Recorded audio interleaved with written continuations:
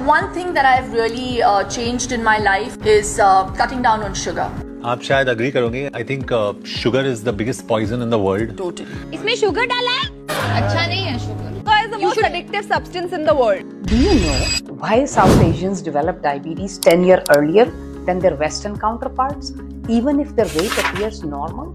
First, South Asians have a genetic tendency to store fat inside the belly, called as visceral fat, which raises insulin resistance.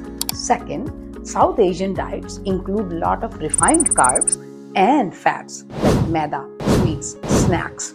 That increases visceral fat. Third, we have one of the lowest rate of exercise in the world. Fourth, a lot of stress and lack of sleep. So what can you do? Make at least one small change tomorrow morning. Stop that white rice maybe or go for a walk. Let's fight diabetes before it starts.